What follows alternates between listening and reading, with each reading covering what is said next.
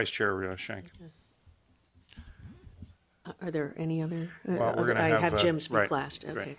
Well, talk about being in the, in the lion's den. Uh, I think my past co- public comments have uh, made it clear that I was uh, skeptical of a, a blended system. And uh, I've tried to keep an open mind. I've listened, I've studied, I've debated, uh, reflected. Um, but uh, I, and, and I fully understand and support the Caltrain electrification goals. Uh, that, but I can't support it at the expense of the ultimate goal of high-speed rail. Uh, I have been a supporter of high-speed rail for many decades.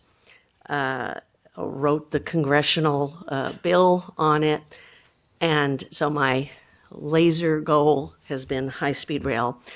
Uh, and I, I want everyone to know I have the greatest respect for my former colleague Anna Eshoo, the legislative team that represents this area, the local leaders and the people of this area. Uh, and, and for that reason, I have sort of gone along uh, up to this point so that uh, we could work with everyone here. I have virtually boundless respect for our chairman, uh, my other colleagues, uh, Jim Hartnett, and, and uh, the others uh, here who've worked so hard on this, the, the staff, uh, your hard work. And so I've tried not to get in, in the way. Uh, but um, I, I owe the people of California nothing less than voting my conscience, and I hope you all accept that.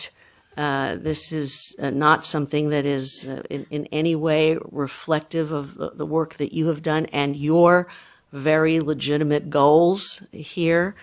Uh, and in fact, I hope that in future, uh, the future will prove me wrong, uh, but I, I'm going to vote no at, at this time.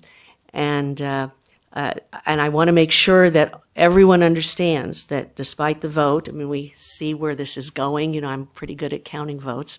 Uh, uh, that once the majority has spoken, I will fully support the work and efforts uh, to make this happen. But at this time, um, I will have to vote no. So I hope you all understand. Um,